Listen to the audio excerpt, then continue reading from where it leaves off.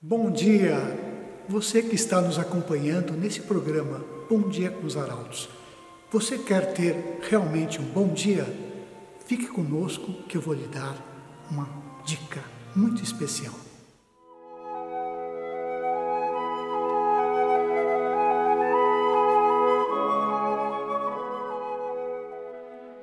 Você que nos acompanha nesse programa Bom Dia com os Arautos. Eu sou o Padre Mário Sérgio e nós queremos dar uma palavra de estímulo a todos e a cada um.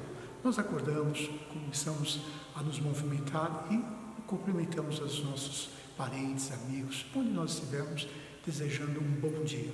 Bom dia, bom dia. Evidente que nós queremos que as pessoas tenham um bom dia, nós queremos também para nós um bom dia. Para nos dar ânimo, continuamos avançar no dia a dia. Agora nós podemos perguntar, o que é realmente ter um bom dia? Será que ter um bom dia é um dia onde que não teve preocupações?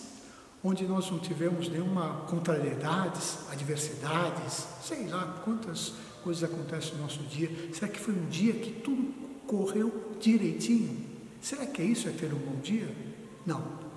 O verdadeiro bom dia é quando, apesar das dificuldades, nós não perdemos o ânimo. Nós continuamos, confiamos. Os obstáculos são feitos para vencermos. Nós temos que vencer os obstáculos todos. E o melhor meio de vencermos esses obstáculos e chegarmos no final do dia e agradecer esse dia que nós tivemos é indo para frente, não desanimando, passando pelas dificuldades, todas as adversidades, mas sempre com ânimo, porque o verdadeiro sentido de nosso bom dia é o ânimo. Por isso que dizia um teórico de guerra chamado Clausewitz, que o melhor meio de fazer com que o inimigo seja derrotado é fazer com que ele perca o ânimo de lutar.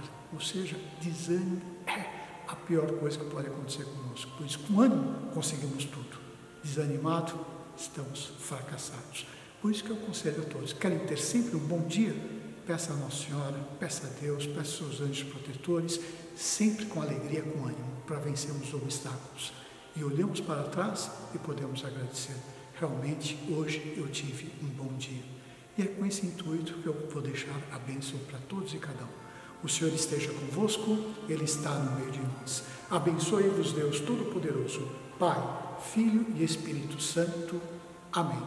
Bom dia. E se você gostou do vídeo, não se esqueça de se inscrever no canal, deixar o seu like e ativar as notificações no sininho para não perder nenhum vídeo do canal. Comente e compartilhe com seus amigos e familiares.